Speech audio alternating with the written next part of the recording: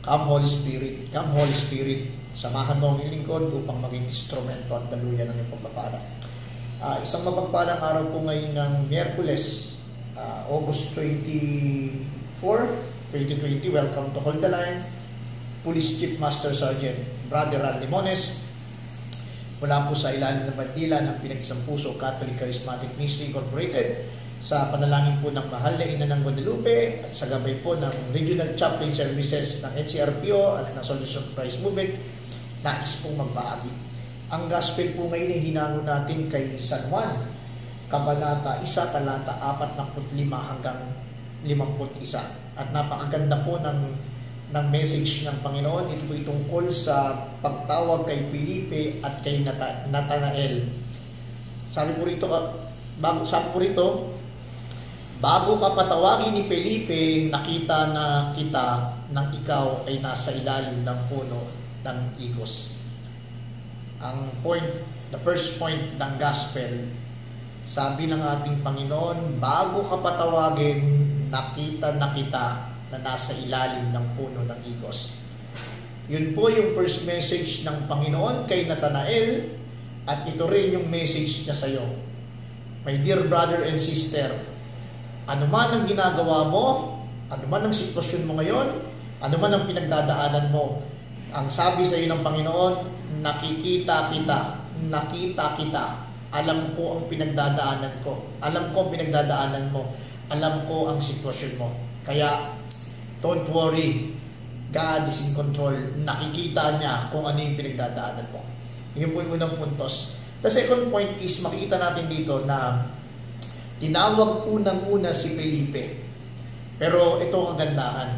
After tawagin ng Diyos si Felipe, hinanap niya si Nathanael. Ito yung second message sa atin ng gospel. Kung si Felipe, hinanap niya ang kanyang kaibigan na si Nathanael, siguro ito yung hamon sa atin. Once we found Jesus, we have obligation to look for others so that others also meet Jesus Christ kung binigyan tayo ng pagkakataon na ma-experience at maranasan si Kristo, ang hamon sa atin, hanapin natin ng iba, ikwento natin nang sila man din ay ma-meet nila, makalihig nila at maranasan nila ang pagpapala ng Diyos. The first point is, nakikita ka ni Kristo. Second, nung tinawag si Felipe, hindi siya minto, hinanap niya si Nathanael. Hanapin din natin yung mga kapatid natin nasa huli, yung mga kapatid natin nawawalan ng pag-asa, yung mga kapatid natin inaapi, inaalipusta, mga nabubuli, mga sa oras na ito'y lugmok, pariwara, mga makasalanan, mga kailangan ng gamot, sila itong hanapin natin. Maging katulad tayo ni Felipe. Pero ito po yung kagandahan. Nung, nung tinawag ni Felipe si Nathanael, tumugon ito kapatid at nang tinanong niya nga ang ating Panginoon, sabi sa kanya, papalapit pa lamang siya, sabi sa kanya, ito yung tunay na Israelita na hindi mandaraya. The third point is maging katulad po tayo ni Nathanael na hindi mandurugas, hindi mapanlamang, hindi makasarili, magkuspantay sa pagtingin sa kapwa at tingin sa lahat may paggalang at respeto at pagmamahal sa ating Panginoon. The first point, nakikita tayo ng ating Panginoon. The second point is, nung makilala ni ni Felipe ang ating Panginoon, hinanap niya si Nathanael. What's the third point? Si Nathanael ay hindi mandaraya. And then the fourth point po, makita natin dito yung si Bartomeo, si Nathanael pala, sa three gospel ng Marcos, ng Mateo at ng Lucas, ang name niya pala doon ay Bartimeo. Bartimeo po ang pangalan niya.